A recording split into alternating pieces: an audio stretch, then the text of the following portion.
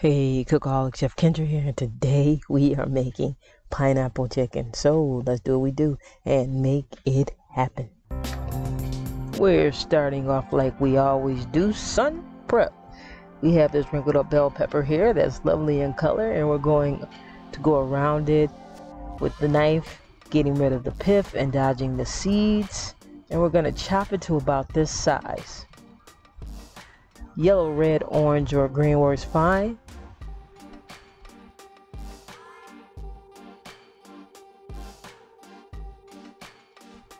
Now we're going to do the same with the green one. We're also going to use some scallions or green onions, whatever you prefer to call it. Wash and ready to be chopped. I want a tiny bit of onion flavor, but I don't want onion to overpower the dish. That's why I decided on green onions. Interestingly enough, this is the first batch of green onions in my lifetime to make my eyes water while slicing them. I have this giant bag of ginger because the store I went to didn't sell it loose, but here's a neat trick for slicing ginger that I'm sure is in many of my other videos.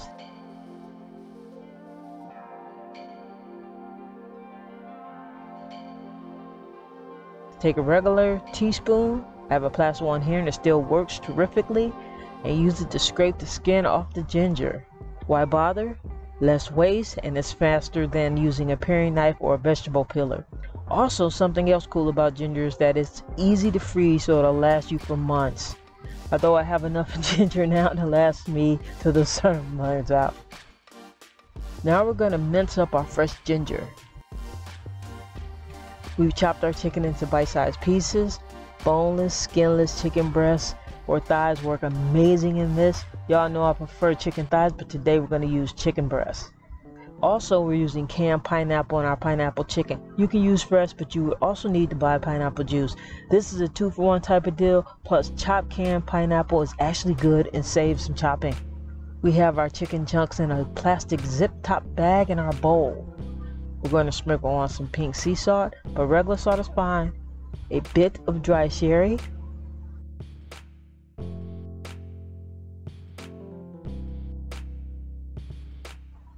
peanut oil, some rice vinegar,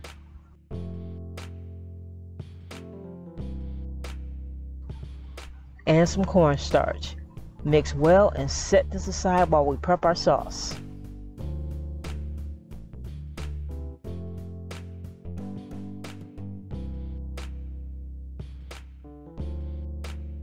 Okay, now for the sauce. We have a bowl and we're adding pineapple juice from the can.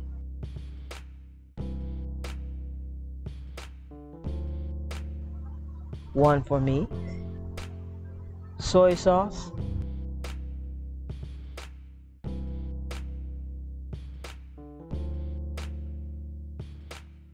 Rice vinegar.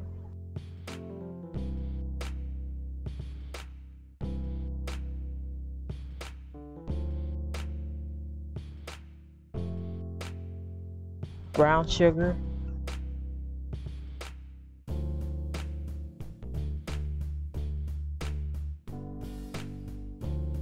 and cornstarch.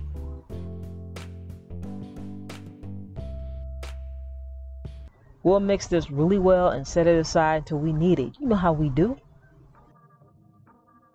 We're cooking our chicken in a pan over medium heat.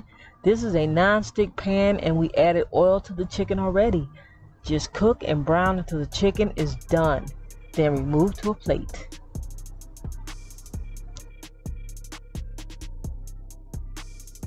Put that same pan back over medium heat and add a little oil to the pan. Add the peppers, scallions, and pineapple to the pan.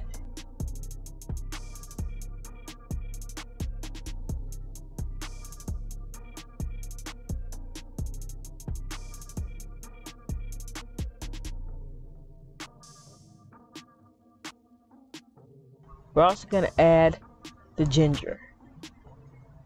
Cook and stir until everything has a nice sheen and just starts to soften.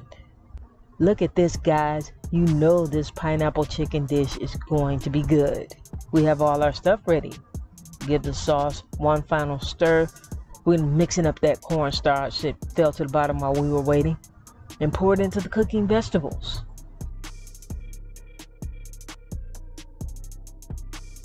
Reduce heat to medium low.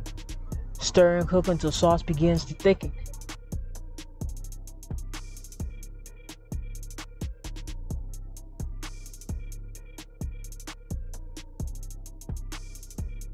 Add the chicken back to the pan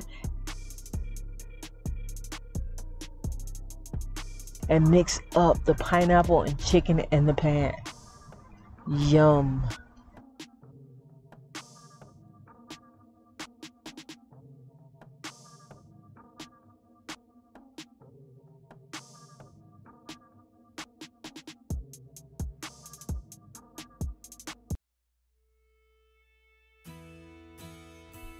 Yo, you can find this and other fine recipes at chefkendra.weebly.com. That's chefkendra.weebly.com. You know I got you.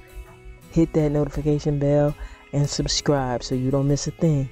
All right, that's all for this time. I'll see you next time. Chef Kendra is out. Peace.